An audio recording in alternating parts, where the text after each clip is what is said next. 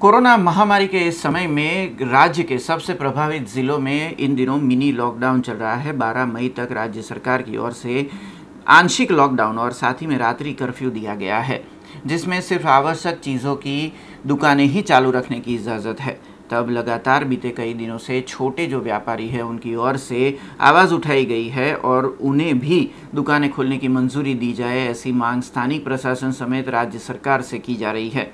तब आज hair cutting salon के जो एसोसिएशन है, उनकी ओर से ज़िला कलेक्टर को आवेदन दिया गया, जिसमें बीते डेढ़ साल से, यानी कि कहा जाए कि जब से कोरोना आया है, तब से इन सभी के व्यवसाय पर बहुत ही बुरी असर हुई है और उनकी आर्थिक हालत खस्ता हो चुकी है। तब आंशिक लॉकडाउन में जो 12 मई तक है, उसके बाद 13 मई से इन लोगों को सुबह में दो से तीन घंटे दुकान चालू रखने की मंजूरी दी जाए, ऐसी मांग की गई थी।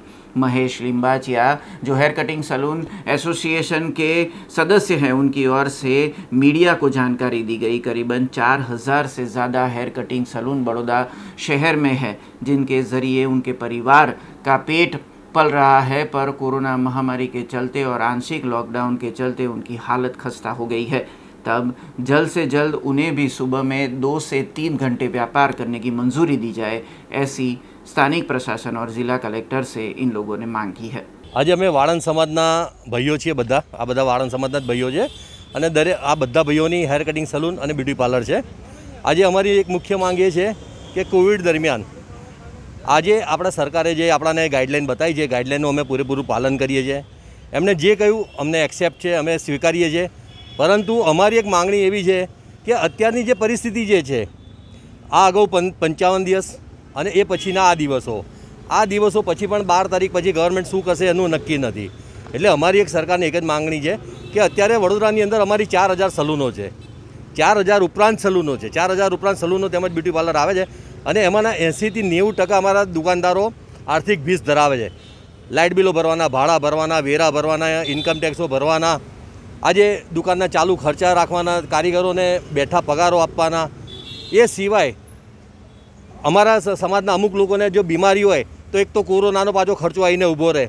એટલે આર્થિક ભીસ દોઢ વર્ષ છેલ્લા દોઢ વર્ષે એટલી બધી અમારા સમાજમાં છે ને, કે એની કોઈ લિમિટ નહીં. એનું એક નાનું એક તમને દાખલો એ આપું. કે છેલ્લા દોઢ વર્ષની અંદર દોઢ વર્ષની અંદર અમારા સમાજની સાડા ત્રણસોથી ચારસો સલૂનો ફક્ત વડોદરામાં બંધ થઈ ગઈ સાડા ત્રણસોથી ચારસો સલૂનો ફક્ત વડોદરામાં બંધ થઈ ગઈ એના પરથી તમે વિચારો કે અમારા સમાજને કેટલી આર્થિક તકલીફ પડે છે એટલે અમારી સરકારની એક જ માગણી છે કે ફક્ત અમારું રૂટેશન ચાલુ રહે અમારે કંઈ નફો બહુ કોઈ પૈસાદાર નથી થઈ જવું અમારું રૂટેશન ચાલુ રહે એ માટે અમને ફક્ત બે કે ત્રણ કલાક સવારે દુકાન ચાલુ રાખવા દો અમારા નસીબમાં હશે તે અમે કમાઈ લઈશું अब खबरों से लगातार अपडेट रहना हुआ आसान। बीआरजी न्यूज़ आपके मोबाइल स्क्रीन पर। आज ही बीआरजी न्यूज़ की mobile app Google play store और ऐप स्टोर से डाउनलोड करें और खबरों से लगातार जुड़े रहें।